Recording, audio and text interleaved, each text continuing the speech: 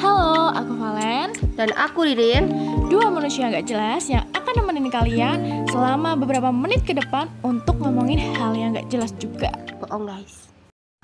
Hai guys, kembali lagi dengan aku Valen Dan aku Ririn Jadi, aku mau nanya kabar nih sebenarnya sama kamu. Tapi kita ketemu setiap hari. Terus, enaknya nanya apa ya? Kamu nih Kamu bertanya-tanya Oke, cukup ya guys semaknya. Sekarang fokus ke aku dan Ririn. Jadi di sini kita mau ngapain nih? Um, Kemarin kan aku sama Valen udah open Q&A di Instagram kita masing-masing Buat nyempetin kalian tanya-tanya sama kita Tanya apa aja Dan di video kali ini kita mau jawabin beberapa pertanyaan Sambil ngobrol-ngobrol santai aja sih Val Hmm, Oke, jadi aku sama Ririn tuh orangnya suka basa-basi ya. Ini Oh. langsung sat sat sat set gitu. Sat-sat. Langsung aja ya Cek. guys ke pertanyaan Yang yang pertama dari Ed Nikenda underscore Kultur shock 4 bulan di Semarang Aduh, lumayan banyak sih kan Mulai dari perbedaan bahasa yang padahal sama-sama Jawa Tapi tetap aja beda banget guys. Jadi Ririn tuh kalau di kelas tuh kayak bule tapi bule. Jadi kadang tuh aku juga yang nerjemahin Betul, dia sangat membantu bahasanya Ririn ke Iya, teman-teman gitu. Betul. Kayaknya harus buat kamus bahasa ngapak kali ya. Betul, betul. Terus kultur shock yang kedua tuh dari selera makan orang Semarang yang beda sama orang Purwokerto. Aku dari Purwokerto kan nah itu beda banget sih. Kalau di sini kan selera makanannya kayak yang manis-manis yang kayak lauk pun manis. Tapi tempatku tuh enggak. Jadi ya agak kultur shock dikit lah. Contohnya apa sih? Yang Oh. menurut kamu. Paling beda itu?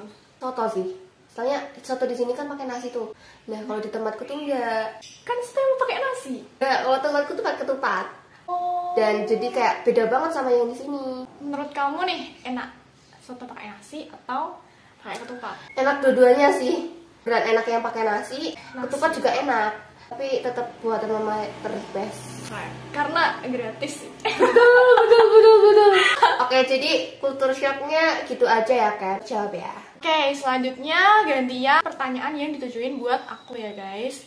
Ini dari at ulan.oktvn Spill tempat ngedet yang seru. Aduh cocok banget pertanyaannya buat Valen yang asli Semarang. Sebenarnya aku bukan asli Semarang sih, Rin. Sebenarnya orang Jombang tapi tahu banyak tentang Semarang lah ya Ya, tahu sih, tahu tahu. Karena mainku tuh kebanyakan emang sebenarnya di Semarang sih. Karena sekolahku juga di Semarang kan. Oke, eh, ada beberapa opsi nih. Kalau kalian suka alam-alam, Semarang tuh juga banyak curug. Ada curug Lawe, curug eh, Semirang, dan Bendowo. Dan lokasinya tuh di Ungaran. Jadi kalian tinggal search aja di Google nanti keluar tuh lokasinya. Dan itu tuh sangat worth it. Air terjunnya bagus banget. Oke, lanjut. Ada- Em, kalau kalian suka yang berbau seni, kalian bisa tuh berkunjung ke Kota Lama Semarang. Itu tuh kayak peninggalan Belanda vibes-nya gitu. oh Keren banget kalau buat foto-foto ngedet. oh yang buat adrenalin adrenalin gitu ada Seru-seruan. Iya, seru-seruan Oke, kalian bisa di Saloka. Itu tuh kayak eh Dufan Dufan, Dufan mirip Dufan tapi lebih murah sih menurut aku. worth it lah ya Worth it Worth untuk it.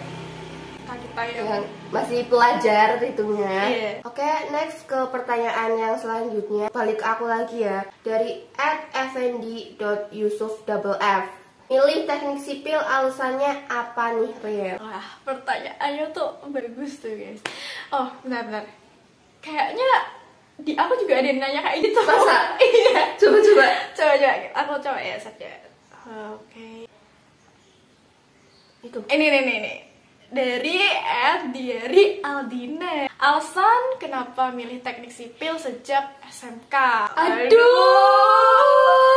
Gimana sih ini Mbak Andina sama Mas Evindi udah janjian apa gimana nih? Sih. Bisa lah ya habis ini kalian saling follow. Ya, petualang ya guys. Bisa langsung cari aja at Diari Aldina sama at Effendi Yusuf. Aku tunggu kabar baiknya. Oke, tadi pertanyaannya apa? Milih teknik sipil alasannya apa nih, Rin? Em, langsung aku jawab aja kali ya. Kalau aku kan kuliah milih teknik sipil lagi nih. Itu aku lanjutin dari SMK. SMK juga aku milih yang berbau-bau tentang sipil. Itu sebenarnya itu bukan passionku passionku itu di bidang lain tapi setelah aku jalanin masa SMK sampai sekarang lanjutin di kuliah ternyata ya bisa. Aku suka sama ini. Jadi passion tuh sebenarnya bisa dibangun Val. Tergantung Oke, kita mau atau enggaknya aja. Kalau dari aku mirip sih sama jawaban Riri lanjutin dari SMK. Menurutku sipil tuh susah sih. Menurut kamu gimana? ya sudah sih. Sebagai aku sebagai anak sipil juga ngerasain kalau jurusan sipil tuh berat. Karena banyak banget perhitungan, gambar, dan tugasnya tuh Masya Allah banyak Iya, banget guys Anak sipil pasti gak asing dari kata-kata revisi, revisi, revisi, revisi. Betul. Tapi kalau mau linjur juga mikir-mikir. Karena belum tentu jurusan yang kita pilih yang kedua itu cocok sama kita. Ibarat kita udah berlayar tuh jauh udah sampai ke tengah. Dan kita tinggal lanjutin perjalanan aja tuh. Tapi kalau kita mau balik lagi dan ngulang dari awal itu tuh buang-buang waktu tenaga sama pikiran. Ya iya betul banget sih buat Mas Effendi sama Mbak Mbak Aldina. Terjawab lah ya Iya. Jadi kita lanjut ke pertanyaan untuk aku lagi dari Ed Saf Triple K. Ririn tim bubur diaduk atau enggak diaduk? Kalau bubur kacang hijau sih pasti diaduk kan. Kalau bubur ayam satu, dua, tiga, Nggak enggak diaduk. Kita tuh bubur nggak diaduk guys. Seksi banget nih Karena kalau bubur diaduk tuh kayak ngerusak keestetikan gitu Iya, sih iya. Kok bisa ya kalian itu buburnya diaduk? Coba ya nih. kasih tahu langsung kita kenapa bubur kalian diaduk, oke? Oke. Tulis pendapat kalian di kolom Kita komentar. langsung kasih tahu ke kita deh. Ya, Kita tuh kepo kenapa bubur kalian diaduk. Lanjut ke pertanyaan yang selanjutnya. Ini nih. At underscore N V A M R T A. Aduh, susah namanya susah banget. Pertanyaannya yaitu pernah kayang di pinggir jalan? Motivasi kamu nanya ini tuh apa ya? Positif tinggi aja sih aja nggak sih Pak kalau dia tuh pernah kayak di pinggir jalan makanya dia nyari teman. Bisa jadi sih ya. Ini beneran. Kamu pernah kayang di pinggir jalan? Oke, kalau kayang di pinggir jalan sih nggak pernah ya guys. Kalau di tengah jalan pernah. Fine, Enggak, canda ya, canda. Tentang Kayang. kayang Udahin dulu udah ya. Kayak- Kalau kalian masih kepo tadi si ibu underscore Aduh, NVAMMTA itu bisa langsung DM ya guys. DM langsung Kalian langsung tanya-tanya aja tuh. Kayak beneran kayak di pinggir jalan? Lanjut lanjut lanjut lanjut. Lanjut ke dari at Cantika Cika double A underscore Cika A. Tutor anak kos biar nggak homesick. Kalau nggak homesick tuh nggak mungkin ya pasti homesick. Namanya juga anak kos apalagi aku kan jaraknya jauh banget dari rumah nih 300 km lebih dari rumah. Jadi ya pasti homesick. Tapi cara aku nguranginya tuh dengan call orang rumah satu minggu sekali. Jadi ada waktu nggak ada waktu sibuk atau enggak aku selalu sempetin untuk video call mama papaku kakakku di rumah seminggu sekali. Jadi bisa lumayan ngurangin rasa kangen rumah lah ya. Biar nanti kalau balik-balik tuh masih dikenalin jadi hapus dari kakak kan? Kalau pulang-pulang kamu siapa? Lupa aku kan nggak lucu Iya. kan? Aku pulang itu semester sekali guys. Aku aja jadi video call seminggu sekali. Iya, lumayan ya. gitu, gitu. Oke. terjadi ya cantika cika Lanjut ke pertanyaan selanjutnya dari @tegar.hanif. Kenapa milih kuliah daripada bekerja?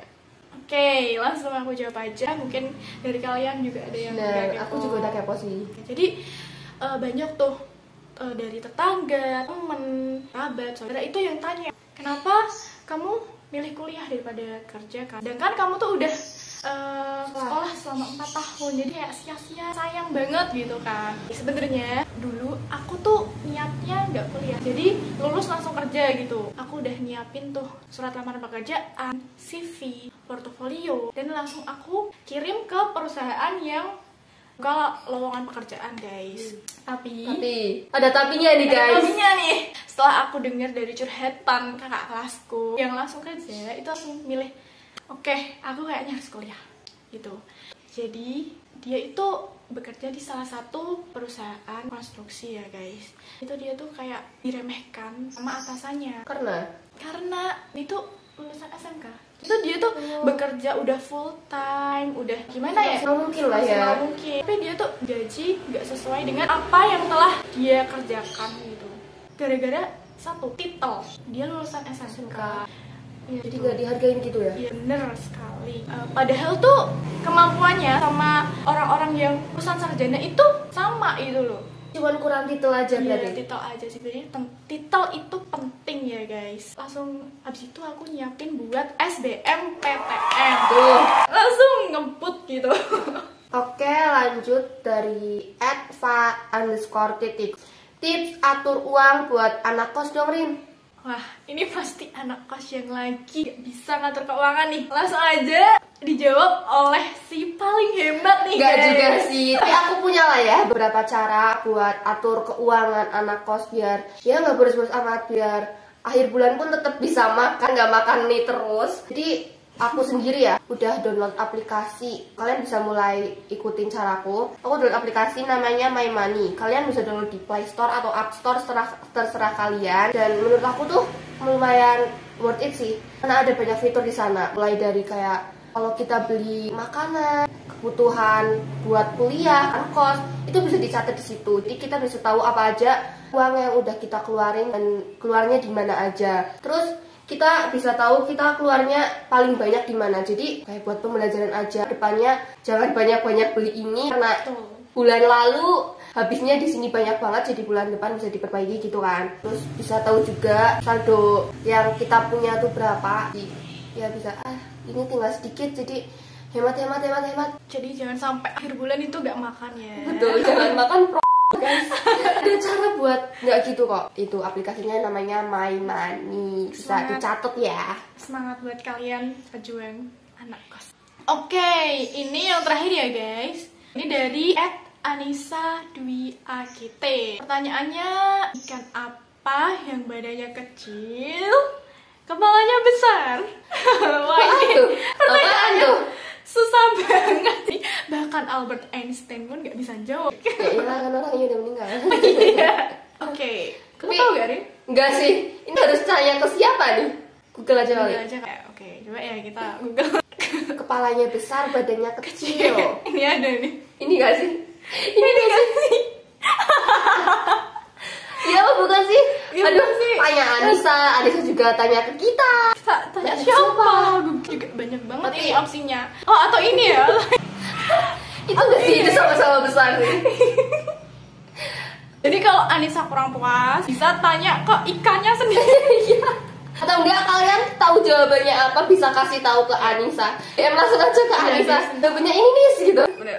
Siapa tahu kalian dapat hadiah nih. Ini Iya, betul, siapa betul. tahu kuis berhadiah kan. Gak Lumayan. tahu. Piring atau apa gak tahu. Iya, umrah sih minimal. Sebenarnya pertanyaannya masih banyak nih. Ini masih banyak nih. Masih banyak ya, Pak? Tapi banyak. kalau kita lanjutin jawab, bisa-bisa jadi film nih. Sampai satu jam bisa-bisa. Iya, bisa. Jadi sampai sini aja ya. Makasih buat yang udah nonton, tanya-tanya. Dan maaf kalau pertanyaannya belum dijawab, mungkin bisa next time. Dan maaf juga kalau perkataan kita itu menyinggung Kalian. kalian. Kita nggak bermaksud. Ini buat seru-seruan aja. Jadi jangan lupa like, comment, and subscribe. Jadi Kalau rame lanjut part 2. Oke. See you guys.